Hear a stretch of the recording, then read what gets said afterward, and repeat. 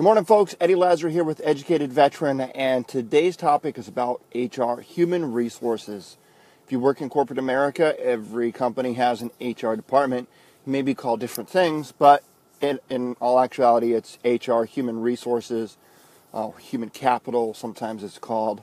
And a lot of uh, employees, a lot of veterans get out of the military and they join corporate, and they're under the impression that the HR department is there for them. It's there um, on their behalf. And I wanted to kind of dispel some of that.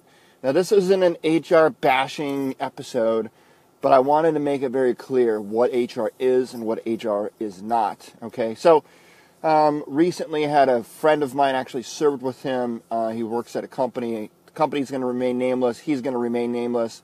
And he had some issues with the supervisor or his manager and there was some questions about him being discriminated against uh, because of his uh, service-related injuries, and um, that's kind of a big deal, folks. A lot of veterans are returning now, and a lot of veterans have service-related injuries and disabilities, and that needs to be taken into consideration for sure.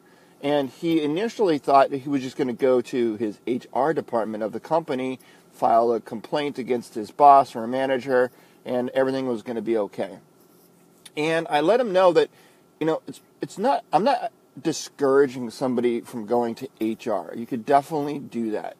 However, you have to remember, and this is really the whole crux of this. This is the whole point of this segment today, and that is you have to understand that HR works for the benefit of the company, not for the benefit of the employee, okay? So if you are misled or misguided or think that HR is there for you as the employee, they're not. They can help, they can do what they can, but at the end of the day, uh, if they have to make a decision, if they're on the fence between the employer and the employee, HR is always going to side with the employer, not the employee, okay?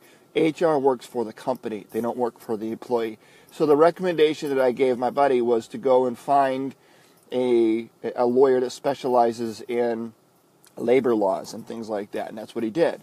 He went and found a third party or an ex- exterior source like a labor lawyer and brought his case to him, and, and they are in the process now working through um, some some agreements and some things. So actually, so he's getting what he needs. He's getting the traction that he needs. He's being heard, and and what's nice about hiring somebody on the outside is a lot of times these guys will do pro bono work for veterans if you've got a legitimate case.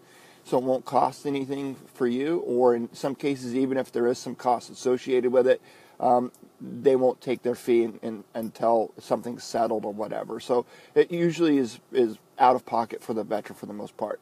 But it's good. It's nice to know that somebody's in your corner, somebody's working for you on your behalf if you're relying on HR to do that, I think you're putting your eggs in the wrong basket.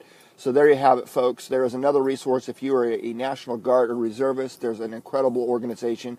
It's called ESGR. That's an Employer Services for Guard and Reserve. You can find them at esgr.mil, um, and they kind of do that. They help with uh, with guys that are weekend warriors essentially that are in the National Guard or reserves and they go on deployment, they come back, and they go back to their job, and they realize that they've lost their job or you know something's not right with it. That's the organization they could turn to is ESGR. Help them with that.